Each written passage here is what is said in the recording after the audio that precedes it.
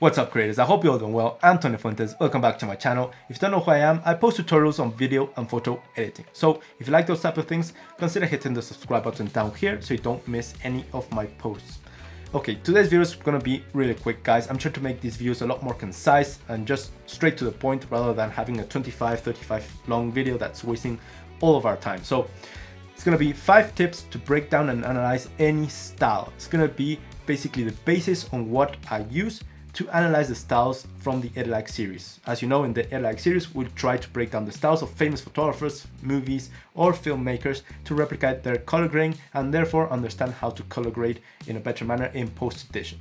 Okay, so let's jump into it. Okay, so first tip before we jump into the coloring is understanding the genre that we're trying to replicate. So here we have Alen Palander's style on Instagram. Immediately we can see that there's a lot of Lamborghinis, there's a lot of fashion, there's a lot of portraits and architecture photography. In general, this is called lifestyle photography. Now, there's no point in trying to replicate this style or this look into my photos of my dogs in the backyard. It's not, it's not gonna be any relation between the example and the final result. So Keep in mind the genre of the film, the genre of the photo that you're trying to emanate and try to take photos in similar situations or at least in the same genre. Next is gear. Now in gear, I'm not talking about cameras, I'm not talking about megapixels, I'm not talking about settings or anything like that. I'm talking about focal distances. Now we need to train the eye to understand with which lens each image or each video is shot with. So here, for example, we have this portrait. We can see how the legs of the model are basically extended or distorted. Also, the background is pushed away. And what this is telling me is that this is shot with a wide angle. Now, on the other hand, we can see that this photo is very cropped in, just focusing basically on the model. And this is telling me that this one is shot with a telephoto. Now this is very important to understand how the photo was taken and how to replicate that look.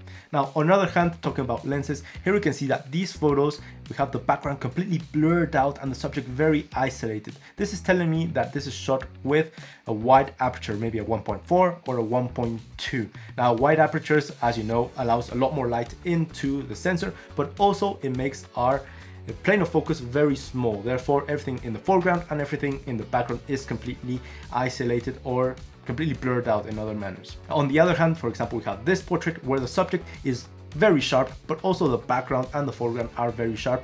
And this is telling me that it is shot with a low aperture or a closed down aperture, maybe a 5.6 all the way down to f12. So we need to understand these factors in order to try to replicate the color grading into the correct types of photos. Okay, so now point number three is analyzing the contrast and the exposure of the images or the example style. So for that, we're just gonna open up the image that we want to break down and start analyzing exposure and contrast. For that, we're not gonna concentrate in colors at all. What we want to do is, for example, in the highlights, we're gonna check out the sky or any bright part of the image and see how much information there is. Let's say in the sky, we can see maybe the clouds in a very overcast state, that's telling us that in post edition, they're bringing down the highlights, so we have more information in those parts. Opposite to that, if the highlights or the sky was completely white and we don't have any detail there, that's telling us that the highlights, they're pushing them up and also the whites. And just like that, the shadows is the same thing. If we see a lot of information in the shadows, maybe in a black trouser or in the shadows of projected by a building, that's telling us that they're bringing up the shadows so they're trying to expand the dynamic range of the shadows so we have more information there. Opposite to that, if they're completely black and we don't see any detail there, they're bringing them down so we don't have all that information and we're achieving a lot more contrast. Now the same thing applies when we're looking at the blacks. Now if the blacks for example have a grayish tone, that's telling us that in post edition what they're doing is bringing up the blacks whether it be in the tone curve or in the blacks just bringing them up so we don't have pure blacks and reducing a bit of the contrast on the image. So those things you just have to keep in mind when you're breaking down a style. Just first go with the exposure and then after that comes the color grading. Okay, so fourth tip is the most emphatic of all is analyzing the color. Now, I have to divide this into two parts. The first part is analyzing if there's any tint added to the shadows and any tint added to the highlights. And that's very easy to look at, guys. Just center in a dark part of the image and see if it's black, if it's neutral, or if it has a color to it Same thing applies in the highlights, just center your view in the bright part of the image and notice if there's any color to the whites. If there's any color to either of these parts, that's telling us that in split toning or color grading as it's now called, they're adding some tint into the shadows and into the highlights. And the second part in breaking down the color grading is just paying attention to details.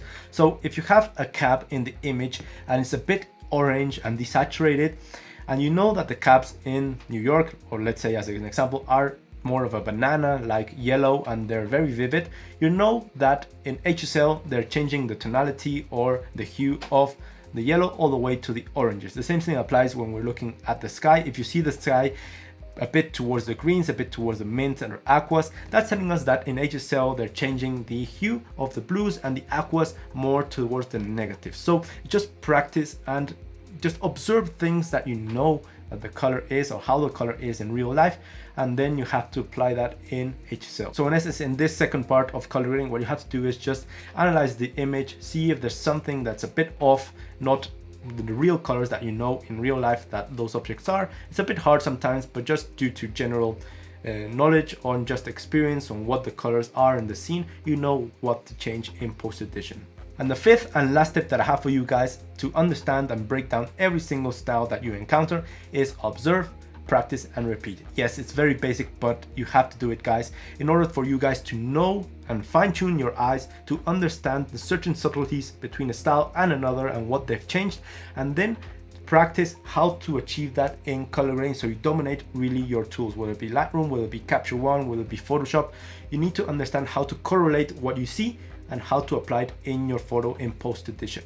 Now for every video that I do in the Like series, I spend around two or three days breaking down the style, practice and repeat from what I observe, taking notes all the time until finally I fine tune the edit to what I think is the resemblance to the original style. So don't get desperate guys if at the first try it doesn't quite come off on your edit. Just take notes, observe again, see what you did wrong, see what you would change and start fine tuning your edit. So it takes a lot of practice to breaking down the styles. Now, if you pay attention in my tutorials from the Edit Like series, the first part of the video, which is the breaking down the style, I always go past these five tips to breaking down the style. I always go through what gear it is, always go through the type of photo or the genre, then I go over exposure, color, and then I practice. That's basically the basis of breaking down the styles. So that's gonna be for today, guys. If you liked the video, can you please give it a like? It actually makes a difference. I'm Tone Fuentes. Cheers to all of you. See you in the next one.